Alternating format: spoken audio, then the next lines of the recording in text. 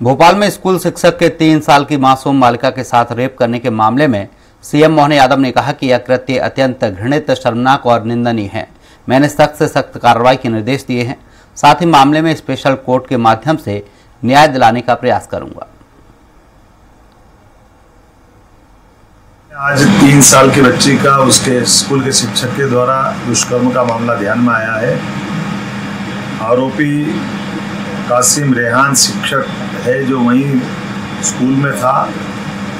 ऐसी दरंगी घटना के लिए मैं निंदा भी करता हूँ और मैंने कठोर कार्रवाई के निर्देश जारी किए हैं और चीफ सेक्रेटरी से कहा कि वो हमारे चीफ जस्टिस के साथ मिलकर के जल्द से जल्द इस प्रकरण को स्पेशल कोर्ट गठित करते हुए इसका निराकरण कराने का प्रयास करें।